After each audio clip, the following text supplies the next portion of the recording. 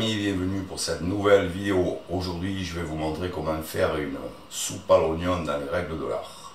Alors ce plat, il est plus ou moins traditionnellement associé aux fins de fête, c'est-à-dire aux alentours du 1er, 2 janvier.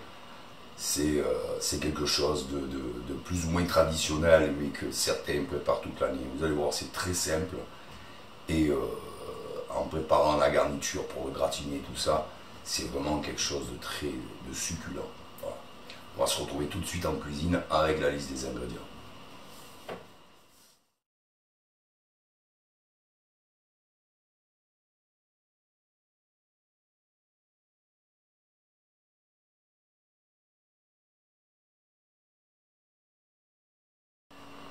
Alors, avant toute chose, on prend l'os à moelle et on va le faire colorer au four.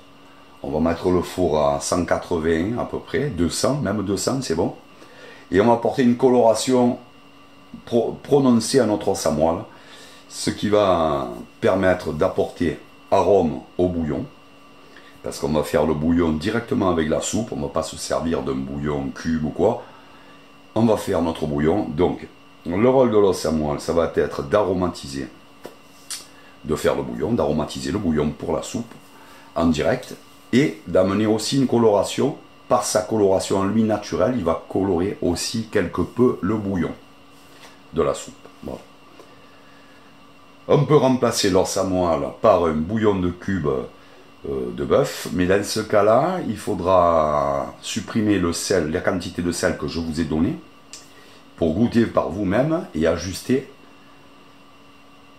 la quantité de sel à mettre. Parce que le bouillon, si vous prenez un bouillon cube, il va déjà être salé au départ, ce qui va fausser nos proportions. Donc le mieux, c'est de prendre un non moelle frais et de faire euh, le bouillon soi-même, bien sûr, en direct. Allez, four.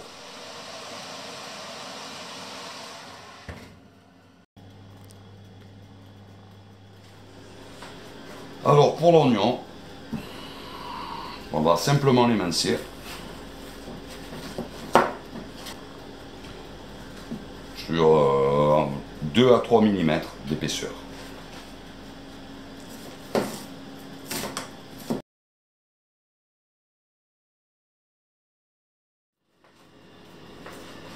Alors pour l'ail, rien de plus simple. On écrase. Et on concasse grossièrement. On réserve oignon et ail pour l'instant. Alors, on met toute l'huile.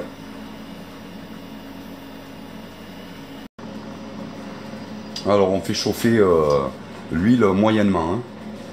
On ne fait pas une, une friture. Hein. On met les oignons en une fois.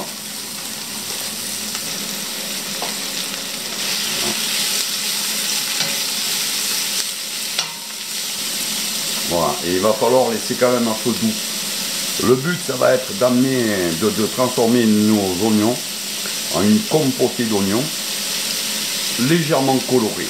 Et pour ça, il va falloir aller tout doux pour pas faire noircir d'un coup les oignons sans qu'ils soient compotés et qu'ils dégagent au maximum leurs arômes. Donc feu moyen et on a le temps. Il faut y aller en douceur.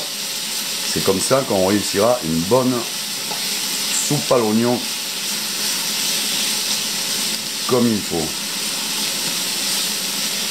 On peut mettre le laurier.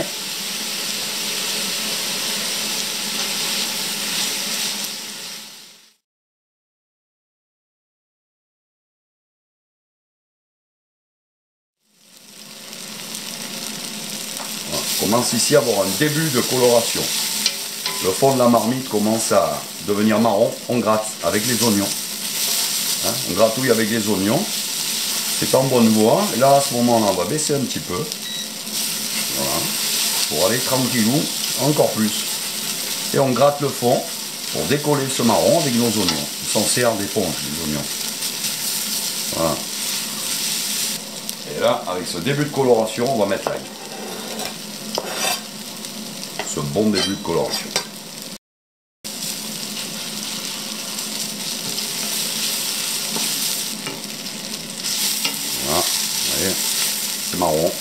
Pense à gratouiller régulièrement, comme ceci, avec les oignons.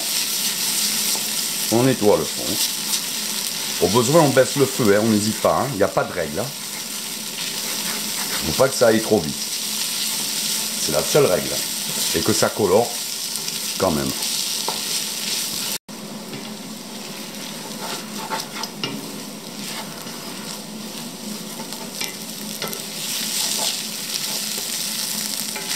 Toujours marron, pas noir. On commence à être pas mal.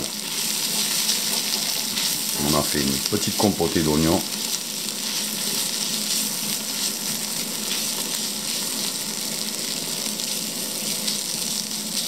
Caramélisé légèrement. On va mettre notre farine. D'un coup, on va remuer deux secondes, mais remuer.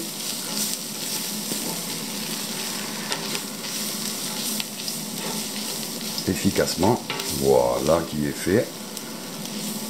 On laisse légèrement torréfier la farine 5-10 secondes. Et on met aussitôt le vin blanc.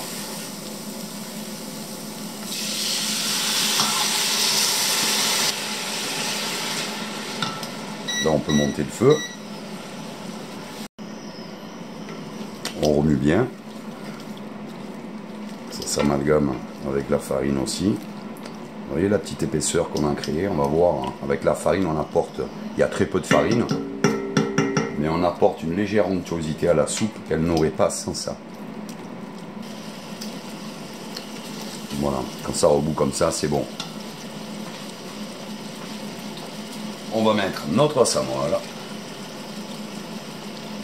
et l'eau.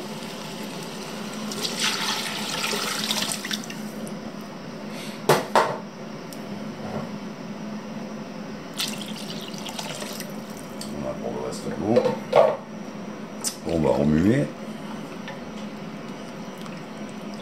On va pas oublier de mettre le sel.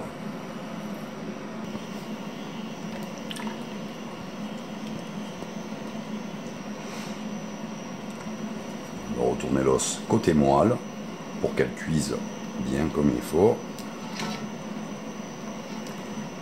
Et voilà, on a le parfum. On n'a pas eu besoin de bouillon de légumes de bouillon de poulet ou de bouillon de bœuf tout prêt en cube, bien chimique pour faire notre sauce, notre soupe.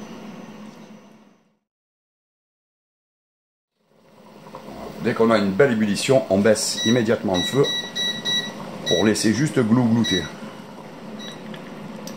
Voilà, ici on a une ébullition parfaite, pas plus, pas moins. Ça suffit largement.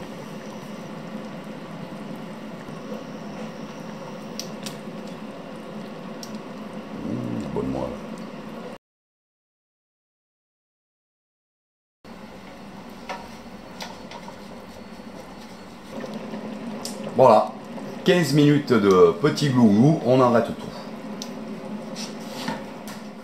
Alors là, on peut retirer l'os à moelle.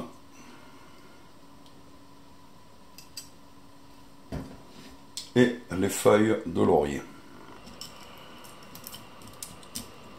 Alors, pour récupérer la moelle, on va bien jusqu'en bas. Tourne autour.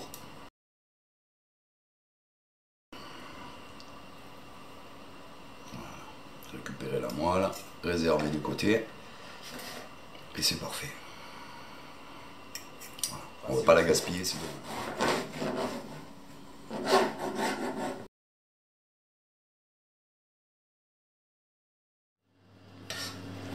avec cette louche, j'en ai pour 6 mois. Alors on se retrouve quand j'ai fini. Alors, la soupe à l'oignon gratiné classique. Des croutons.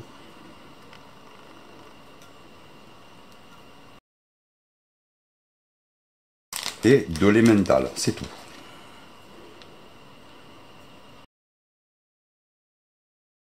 Et on m'a déposé dans le four. La spéciale montagnarde et gourmande. La totale. Alors toujours couteau, hein, obligé. Juste un petit nid d'emmental. La moelle.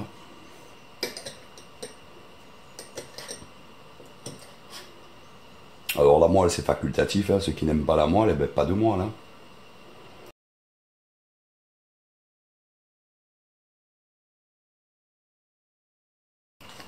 Ensuite, du jambon cru montagnard. On va couvrir la moelle avec. Et on va finir avec du fromage à raclette.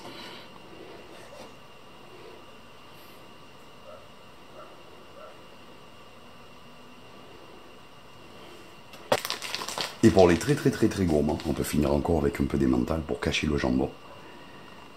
Pour qu'il ne dessèche pas au four. Et là on est parfait.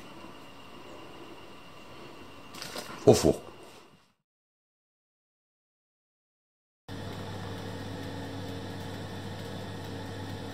Chaude sortie du four. Pas beau ça Voilà. La gourmande montagnarde avec la moelle, le jambon, le fromage à raclette et la classique. J'espère que vous testerez hein, cette soupe à l'oignon gratinée. C'est euh, du tonnerre. Sur ce, je vais me mettre à table et je vous dis à très bientôt pour une prochaine vidéo. Ciao les amis, hasta luego.